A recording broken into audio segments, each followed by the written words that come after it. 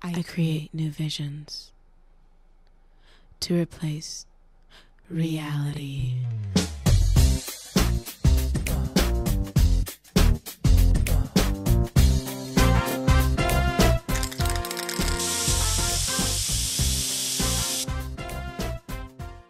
Njeha! Pozdravljam vas, dragi gledalci, i molim da mi ne donosite peticije i deklaracije na potpisivanje. Šta prepadaš gledaoce konju? Kakve peticije i deklaracije? Znaš ti dobro silno bijela koje nekakve o jeziku, kao ti i ja govorimo istim jezikom. Prr, možeš misliti. Možda i govorimo, ali se nikako ne razumijemo. Zato će naši gledatelji razumjeti šta donosimo u današnjoj TV emisiji.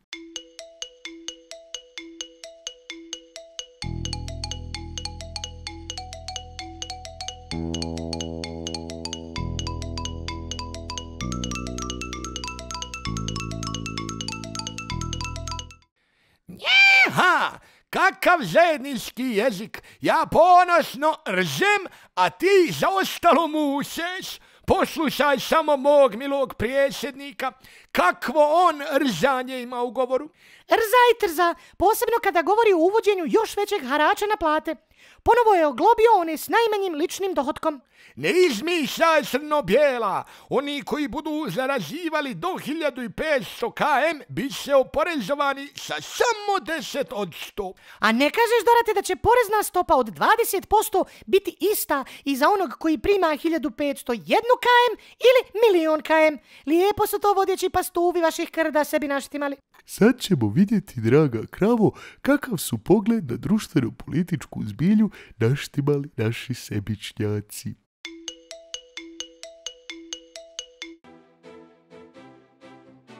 Bošnjaci neodlučni koga da kamenuju, moguće telefonsko glasanje.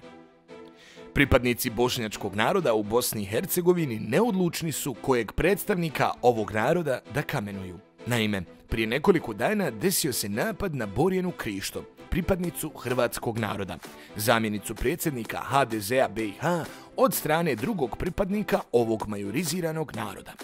Nakon ovog napada desio se i napad na Stašu Košarca, poslanika SNSD-a u istočnom Sarajevu. Za razliku od napada na gospođu Krišto, napadnuto je njegovo auto. Sada su sve oči uprte na bošnjake. Oni moraju odabrati koga da kamenuju, a u tom pogledu vlada nesloga i bošnjaci su podijeljeni. Ne znaju da li da kamenuju nekog iz desnice ili ljevice, a ima i onih koji bi udarili na centar. Kao mogući kompromis ponuđeno je i telefonsko glasanje. Građani bi tako po pristupačnoj cijeni od 1 km po poruci odlučili ko će primiti kamen i tako slijediti primjer svojih komšija, Srba i Hrvata. Dodik obavio svoju srpsku dužnost i glasao za najgoreg kandidata. Milorad Dodik danas je prvi put iskoristio svoje pravo glase na izborima za predsjednika Srbije, od kada ima državljanstvo te zemlje. On je, kako je već i najavio, na krajiškim skupovima krajina zove i plače brdo, plače vrba, nema više u krajini Srba, glasao za Aleksandra Vučića.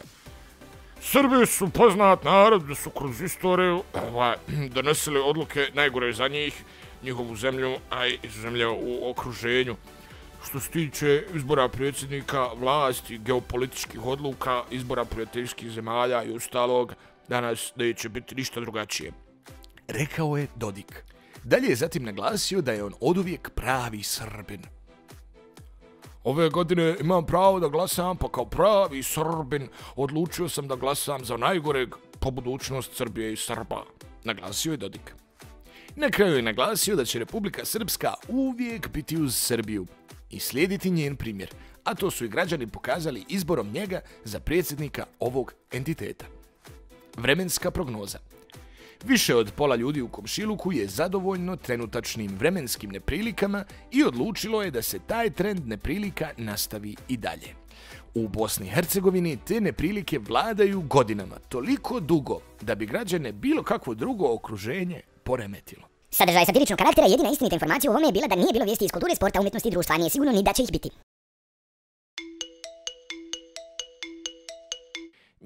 Ha! A znaš li ti, sentimentalko, koliko je to 20% koje moj mili predsjednik mora dati od svog jadnog miliona? A znaš li ti koliko je to kada neko od 1501 km mora plaćati isti harač kao tvoj mili predsjednik? Ma šta je 300 km naspram 200.000 km, dok je mog milog predsjednika njegovih prvih kopitara puni se se staje moga krda. Lukavim krojenjem poreza u korist bogatih tjerate mlade, a stare dovodite u socijalnu bijedu. Kažete da je 1500 km velika plata, a ne kažete da je potrošačka korpa 1800 km. Zar vas nije stid šta nam radite? Sreća poštovana kravo da imamo sajam socijalnog poduzetništva na kojem se prezentuju mogućnosti saradnje između komercijalnih i socijalnih preduzeća.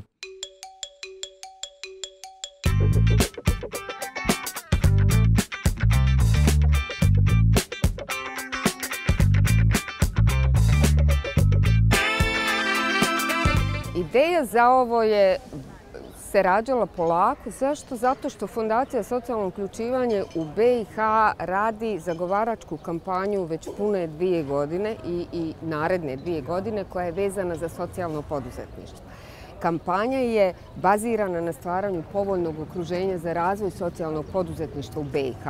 Jedna od aktivnosti, imali smo jako puno vezanih za socijalno poduzetništvo, je ova.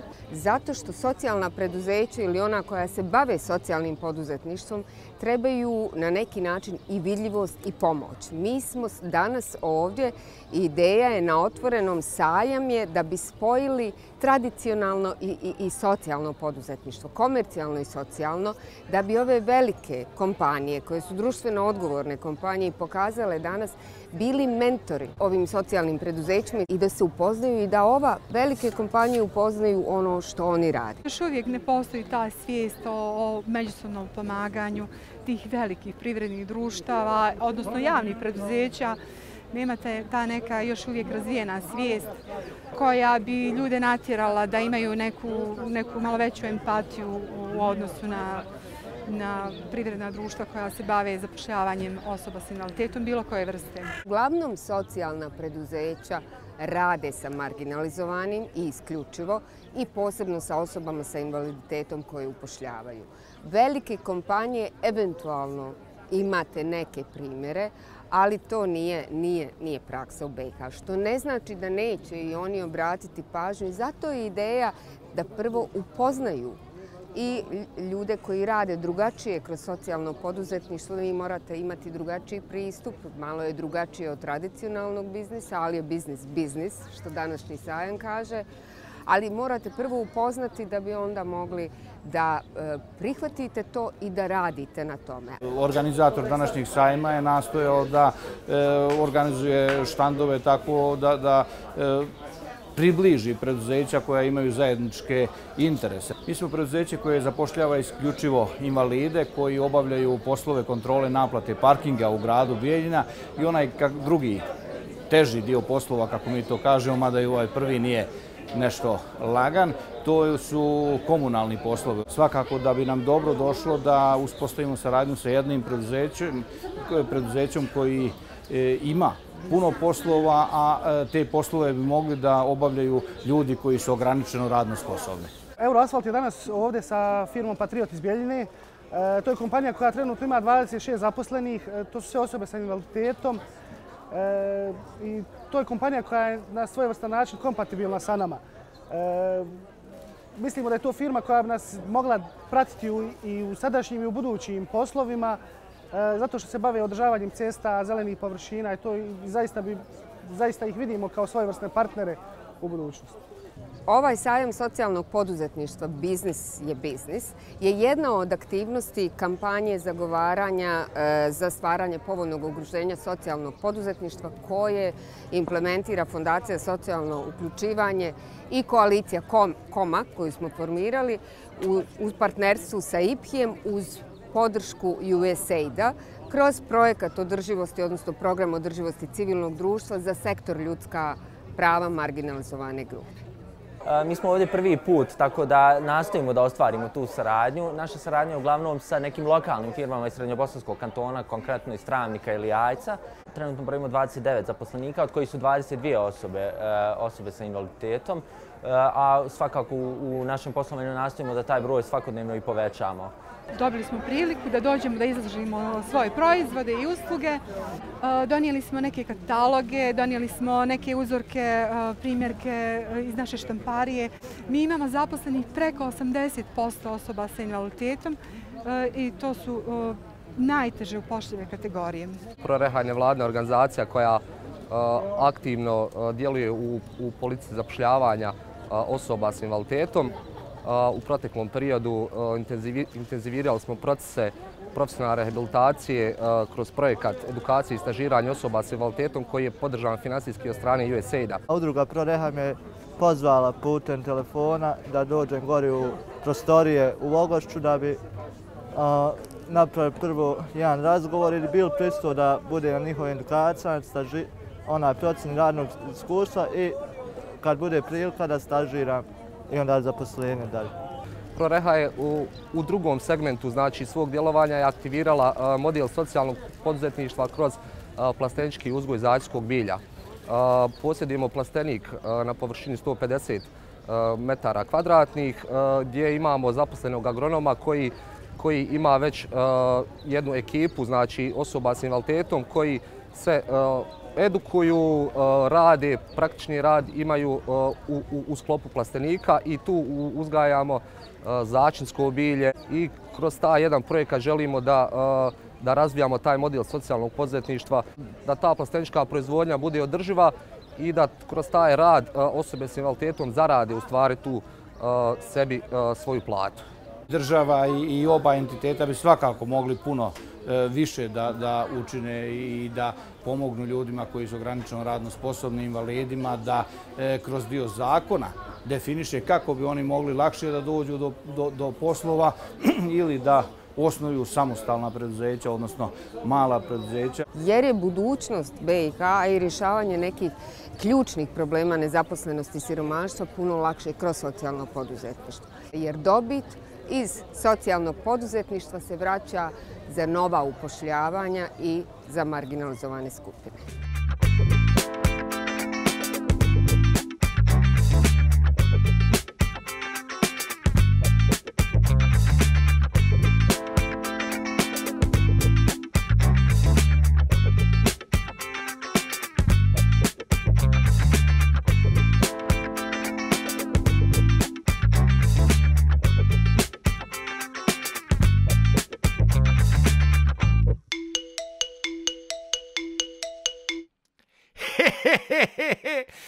Sve probleme i nevolje rješenje postoji. Ako se to želi i hoće. Čim se pronađe neko rješenje, vodeći pastuvi vaših krda odmah nas zaskoče sa novim nametima i pohlepom za nezasluženim bogatstvom. Ma ti nikako sino bijela da se pomiri sa šilenicom, da opstanak krda zavisi od bogatstva se haremilog mi prijesednika. Sramite se! Taman smo krenuli izvoziti sa naših pašnjaka, a tvoj mili vođa hop s novim fiskalnim stezanjima. Dosjetio se da ukine financijske poticaje onima što uspješno izvoze i uvode im retroaktivno oporezivanje. Kakav grozan maher! Cijenjena kravo, zato mi imamo dobre mahere među najmlađima, koji se tradicionalnim omnibusom jednominutnih filmova bore za svoje potrebe.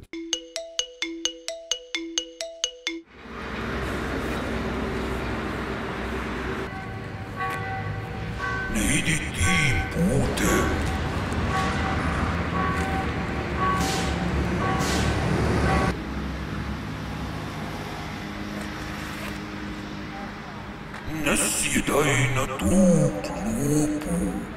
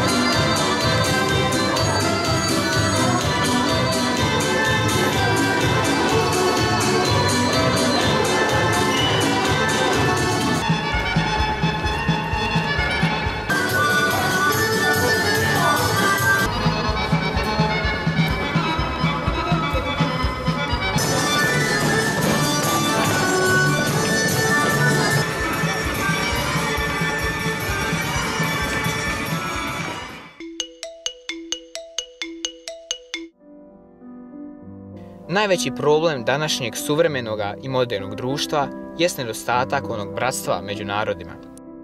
Ovaj zadnji rat koji nijednoj naciji nije donio boljitak odražava se i dan danas. Zbog toga rata mnogi se ne druže s djecom druge nacionalnosti, a problem pogoršava različitost vjeroispovijesti.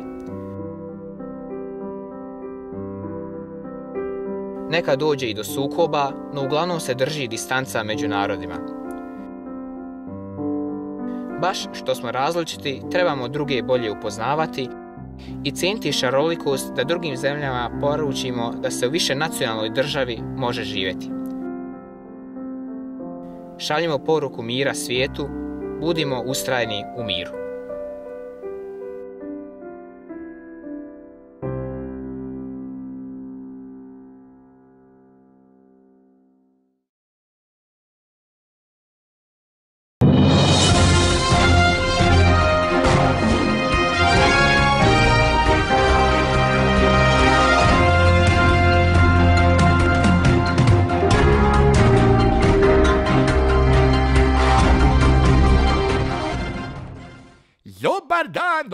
Dobrodošli. Sa vama je vaš domaćin, to jest ja, Njiha. Opet mi napadaju Hanumu od milog prijesednika. Kažu kako je nije sram da se bavi upravljanjem naukom bez naučnih dostignuća. Žale se što hoće da bude rektorica univerziteta u Sarajevu. A ja, ko se, ako neće ona, da spasi nauku od propadanja? Treba očistiti to osinje gnjezdo od neposudnih znanstvenika, a Hanuma se već dokazala u kliničkom centru. Kritičarima bih poručio da mogu još malo uživati, jer dragoj šefici treba još vremena da učvrsti nadri lekarstvo u stali mog milog mi prijesednika. Onda kreće naučno ludilo neviđenih razmjera. Da bi univerzitet postao tržišno konkurentan, bi se potpuno promijenjena polja naučnog djelovanja. Umjesto savremene nauke uvodi se ezoterija. Tako će institut za hemiju postati najprestižniji institut za alhemiju. Hehehe, pravit ćemo zlato šitavom svijetu. Naravno, neće nam više nekvalifikovane babe gledati u dlan, već diplomirani hiromantišari. I ovu nerazumnu matematiku treba dovesti u red, pa se uvodi odsijek numerologije. A ni zanimanje za zvijezde neće biti zaboravljeno. Formira se se astrološki laboratorij sa najboljim referencama u svijetu. Pa naravno, svi se od nas kupovati horoskope kakvo sjajno nadahnuće! Ovo će donijeti preporod krdu i osigurati puno blaga u sehari milog mi predsjednika. Ostajte dobro, zdravo i raspoloženo.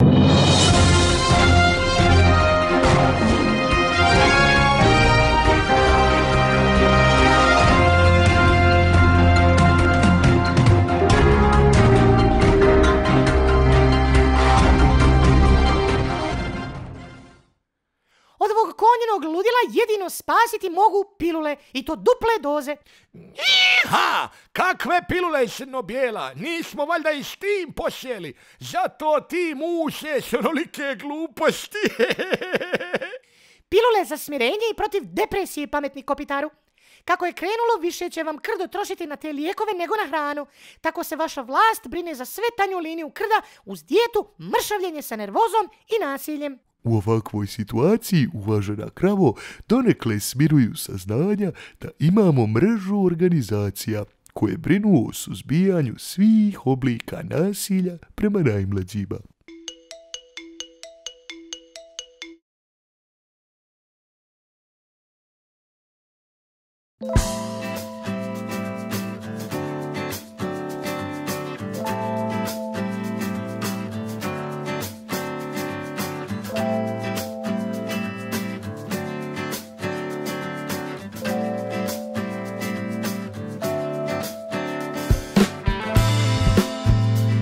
Centar za promociju civilnog društva od 2012. godine djeluje kao koordinator mreže Nevac, koja trenutno okuplja 32 člana, to jeste 32 organizacije civilnog društva koje se bave e, zaštitom dječjih prava, odnosno zaštitom djece od svakog oblika nasilja. Svako četvrto djete trpi nasilje u Bosni i Hercegovini i zapravo jedan od oblika nasilja, što je zapravo i stravično.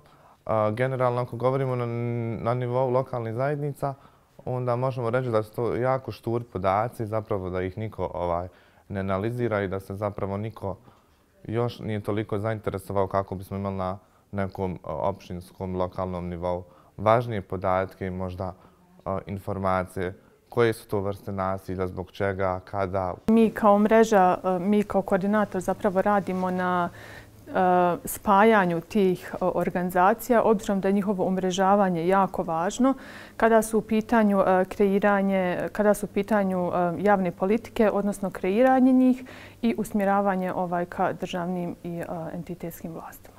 Ovo je jedan veliki problem, jedan kompleksan problem, pogotovo ako uzmemo državu Bosnu i Hercegovinu kao različite entitete, kantone, sve nam je nekako raspačano i onda je vrlo važno da na jednom mjestu zapravo imamo ljude iz različitih dijelova, iz različitih mjesta, sa različitim iskustvima, kako bismo to mogli nekako se zajedno ovaj, kanalisati i napraviti jednu zajedničku strategiju i možda zajednički djelovati. Organizacija Leptir 1 i osnivača mraže Nevac.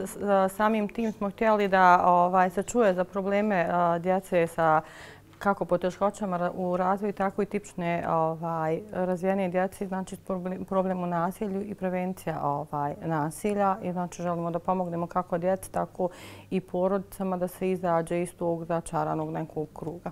A, smatramo da je ovo jako važno i da otvora neka važna pitanja i pomaže ljudima koji se bave prevencijom nasilja da se zapravo umreže, povećaju svoje kapacitete, razgovaraju, uče zajedno i naprave neku zajedničku strategiju rada. Trenutno organizujemo jednu od četiri dvodnevne edukacije koja ima za cilj podizanje kapaciteta organizacija koje se bave zaštom dječjih prava i borbom nasilja nad djecom. To jeste podizanje njihovih kapaciteta u kreiranju zagovaračkih kampanja i kreiranju javnih politika.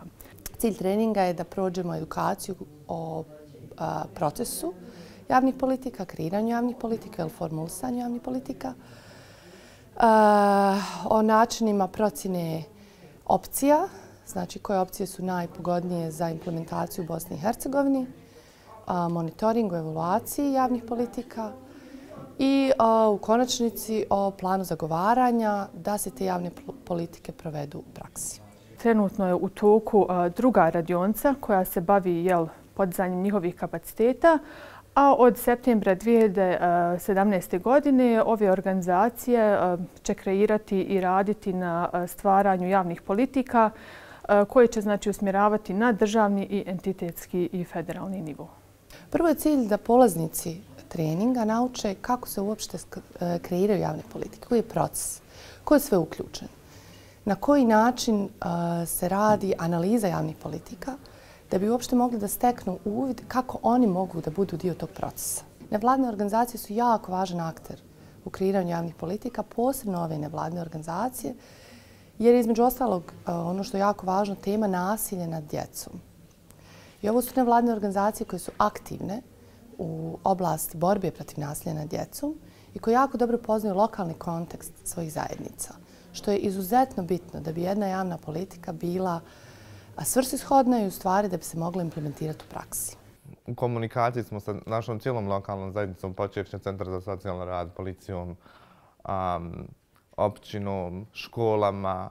Mi zapravo radimo i na podzanju tih nekih kapaciteta na našem lokalnom nivou, zapravo jer mi radimo prevenciju nasilja u, u ruralnim dijeloma i ovaj naš program se zapravo um, i bazira na tom nivou gdje mi u stvari radimo više o, sa osnovnim stanovništvom, odnosno djecom, mladim ljudima, odraslim ženama i muškarcima, kako bismo ovaj, onda djelovali prema zajednici. Pa mi smo već izašli pred lokalnu zajednicu s pomoć UNICEF-a. Imali smo projekat, UNICEF je već treća godina u regiji ovaj Birač. Izašli smo sa projektom Stop nasilja na djecom sa poteškoćama u razvoju gdje su ovaj, prezentovani problemi s kojim se oni susreću u lokalnoj zajednici, komisiji ovaj, i operativnom timu u Srebrenice i Bratunca Milića, Vlacnici i Šeković. Način komutiranja je poboljšan, ljudi dolaze češće u udruženje Leptir, nude pomoć, međutim sve je to ovaj, jedna kap u jednom okeanu jer je projekat trajao samo tri mjeseca što je nedovoljno. To je tako ono da pokupiš neke informacije. Svjedoci smo činjenci da trenutno, nažalost, imamo sve više e, nasilja nad djecom u kojoj se znači ubraja e, nasilje u porodici, nasilje na internetu, fizičko, psihičko, seksualno e, nasilje. I stoga su aktivnosti koje mreža Nevac provodi jako važne.